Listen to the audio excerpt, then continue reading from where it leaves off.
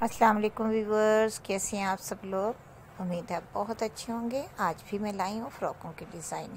अगर आपने आज मेरे चैनल को पहली बार देखा है और उसकी वीडियो आज ही देखने लगी हैं तो प्लीज़ आपसे मैं रिक्वेस्ट करती हूँ कि प्लीज़ प्लीज़ मेरे चैनल को ज़रूर सब्सक्राइब कीजिएगा। बेल आइकन ज़रूर प्रेस करें। ऑल के बटन को प्रेस करने का बेनिफिट होगा। डेली रूटीन की तमाम वीडियो का नोटिफिकेशन आपको मिलता रहेगा। जो मैं डेली रूटीन में आपके लिए लेकर आती हूँ, जैसा कि आइडियाज़ वीडियो की वीडियोस होती हैं, चार फोर और एक ट्यूटोरियल होता है जो मैं रात को आठ बजे लगाती हूँ। लेकिन कुछ सब्सक्राइबर कह रही हैं कि ट्यूटोरियल का वॉच जो टाइम है वो चेंज कर लें, क्योंकि हमें उनका नोटिफिकेशन नहीं पहुँच पाता। क्योंकि जो वीडियो लगती हैं, उन तमाम वीडियो का शायद आप लोगों के पास नोटिफिकेशन नहीं पहुँच पा रहा, जिसकी वजह से मेरे सब्सक्राइबर्स को कटिंग ट्यूटोरियल नहीं मिल पा रहा।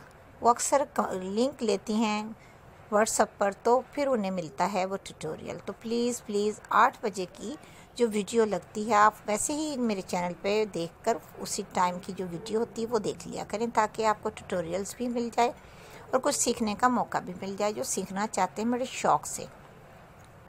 और इस तरह के फ़्रॉक बनाने की ट्रिक टिप्स भी मैंने कटिंग स्टिचिंग ट्यूटोरियल में दिखाई हुई हैं। अगर आप सीखना चाहें, सीख सकते हैं राउंड योग की तरह।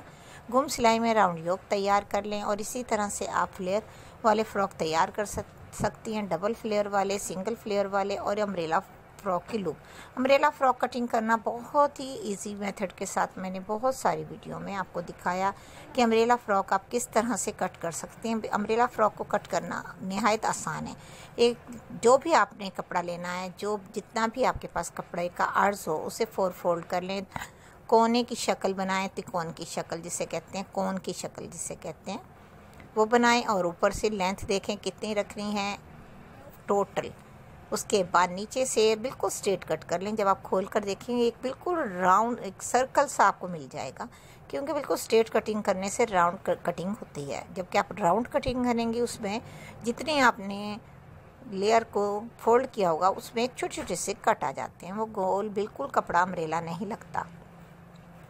और फिर उसके बाद जितनी लेंथ आपने रखनी है टोटल फ्लेयर की, आप ऊपर से कोना कट कर दें। अगर आपने गैदरिंग वाला बनाना है तो वो आपकी मर्ज़ी है। अगर सिंपल स्ट्रेट अम्ब्रेला बनाना है, जिसमें बॉडी के साथ अटैच करते हुए बिल्कुल चुन्नट गैदरिंग नहीं आती तो आप फिर छोटा सा कोना कट कर, नीचे से लेंथ कंप्लीट कर लें। देख लें आपने कितना फोल्ड करना है, कितना इसमें कोई लेस लगानी है। या ऐसे ही फोल्ड करना है, या आपने अंदर इनर लगा के फोल्डिंग फ्रॉक बनाना है। बहुत सारी टिप्स ट्रिक अमरेला फ्रॉक को बनाने में मिल जाएँगी आपको। आप ज़रूर ज़रूर देखिएगा मेरे चैनल पे आकर चैनल को जो वीडियो कटिंग, स्टिचिंग ट्यूटोरियल, उसकी भी देखा करें ताकि आपको प्यारी प्यारी वीडियोस देखने को मिल सकें। आइडियाज़ वीडियो तो वैसे ही इतनी प्यारी होती हैं, इनमें आपको एक ही वीडियो में ट्वेंटी प्लस डिज़ाइन मिल जाते हैं देखने को, जो कि फाइव मिनट्स में इतने सारे बीस डिज़ाइन जब आपको देखने को मिलेंगे तो आपको कोई ना कोई फ़्रॉक तो पसंद आएगा।